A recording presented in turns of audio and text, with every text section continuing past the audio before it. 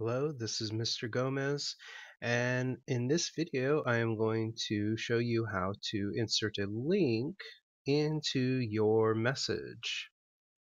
So as you can see I already have clicked the compose button and the new message window has popped up and I've already typed in my recipient so I'm just going to type in the subject. This is pretty useful when you want to share a website or some kind of link with someone else.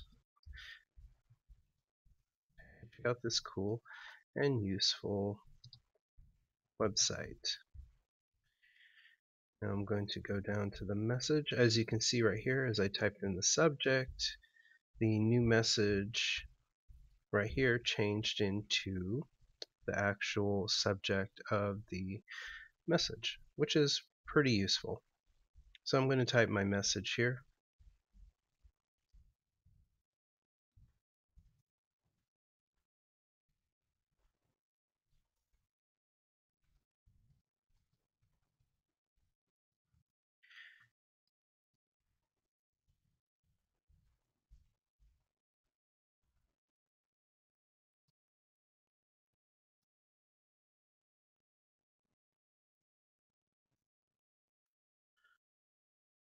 Here we go.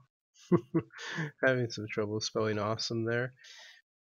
Now, what I'm going to do is um, I need to find that link. So I already have the website that I'm going to use. So I'm going to click on this one. This is a page of tutorials that are all picture based. So if you want to learn how to use some more software, this is a good one to check out. So I'm going to share this with someone. I'm going to click on this address in the Omnibox and I only need to do this once. As you can see it'll highlight. Now if I click it again I can either click down here and then try to click it again that's okay or I can triple click I can rapidly click three times and that will highlight it either way you need to highlight it. I'm going to use the Windows shortcut to copy control C. And now I'm going to move over to my message and I'm going to highlight just one of these yeah two of these words here. I can highlight everything but I just want to put the link right here where I highlighted it so I'm going to go down here. I'm going to click insert link.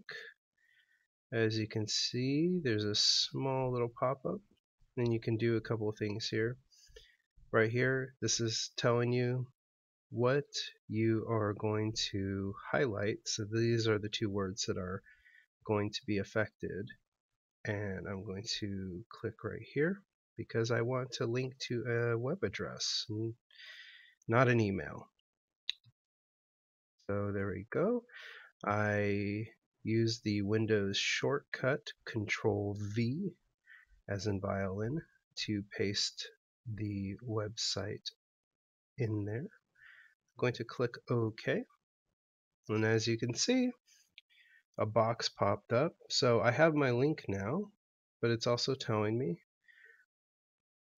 that it's going to go to this link and if I wanted to go there right now I can just click on it now if I wanted to change anything for example, I put the wrong web address, I can change it. Or if I just want to start over, I can click remove and that will get rid of the link entirely. But I don't want to do that, so I'm just going to click off of it. Next thing I'm going to do is I'm just going to send this off. And click send. Alright, there we go. So with that, I'm going to bring this message to a close or this video to a close, and I will see you next time.